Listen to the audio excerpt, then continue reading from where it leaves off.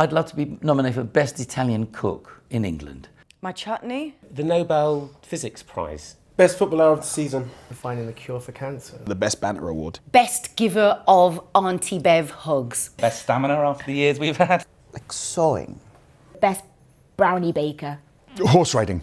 Best cup of tea maker. Best masseuse. I can run you an extraordinary bath. Possibly my vinyl collection. Cooking my way through the Dishoom cookbook. Best nose for vintage. Best manager on FIFA. Best dolphin impression from a human. Punctuality. My lack of punctuality. Yeah. Probably best fashion sense. I can clap with one hand. I'm very good at peeling an orange in one piece. A 100 metre sprinter.